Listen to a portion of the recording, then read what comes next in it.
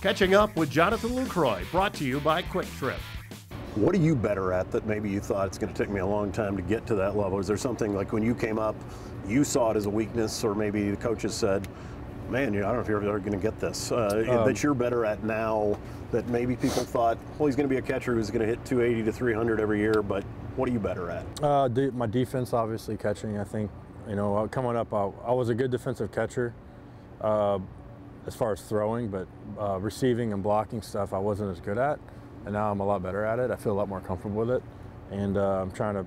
I want to be well-rounded as best I can. I don't. I don't like being a one-sided player. I want to be a player that uh, is good on both sides because it adds a lot of value to both sides and it helps teams win on both sides. You know, I think catching is just as important or more important than hitting is.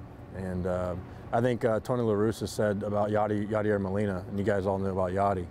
Uh, he said that he doesn't care if Yadi never gets a hit the rest of his career. He's so valuable behind the plate to him yeah. that he's going to stay back there.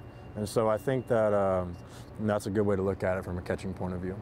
How cool is it to find that, where it's something that maybe was something you worked on holy cow, I did that. You know, is there, do you do you have those moments of realization, or is it just? No, not really. I mean, I don't have. I really try to keep myself level-headed with that kind of thing. I mean, I, I think that uh, you know, hard work really pays off. It does for sure, and whenever you do it correctly and you create the right habits, I think you know hard work. I know hard work does pay off, and you know, I expect myself to play at a certain level, and. Um, if I'm doing my job, my, you know, I'm going to block the ball. It's going to stop right there, and I'm going to catch a ball, and I'm going to stop it right there, and that's my job.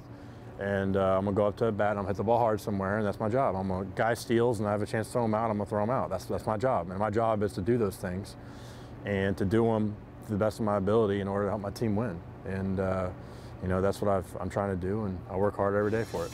Catch more at my24milwaukee.com.